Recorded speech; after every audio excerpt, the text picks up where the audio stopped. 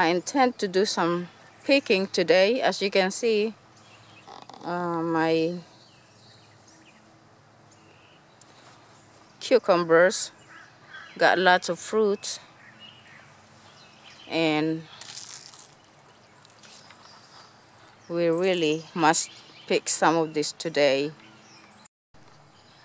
okay I, I just poked this with my finger and my goodness look. You could tell how big this it's heavy. This will be harvested today and I know it's real big but one way I tell that uh, the vegetable is still good for eating is when I stick my finger in there I mean not my finger my nail and my, uh, my nail goes right through which it did that means to say it's good for eating. That's today's harvest of eggplant. These are my early long eggplants.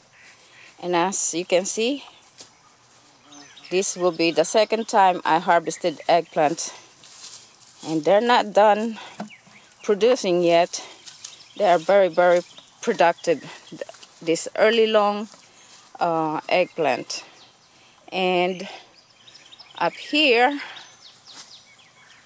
as you can see this is my first okra this is spineless uh, Clemson spineless okra. That's the first one and when I had to pick it that way, it continue producing. Once you see okra about this long especially or even shorter, but this is very at a very young stage. And the way I tell when the okra is very good for eating is watch this. See that? If that tip snap easily, then you know that is perfect eating okra. It's not fibrous yet.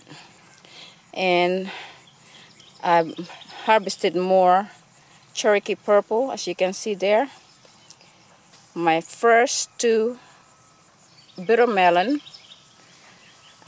And because these are the first two bitter melon I harvested, that will be my salad. I would like to take advantage of all the good nutrient from that. So that will be this uh, today's lunch which will be bitter melon salad. Along with this cucumbers. I don't know. Tons of cucumbers as you can see we will be sharing that I promise you. And so these are my Chinese cucumbers. And over here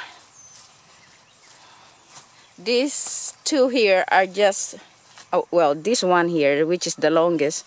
And as you can see you have an idea of how long this uh, outdoor table is. And you could see how long the upo or bottle gourd as you can see look at that.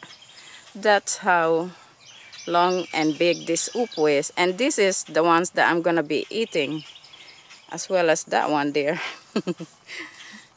This one will be too much for my husband and myself so trust me it will be shared. My daughter will be happy to share this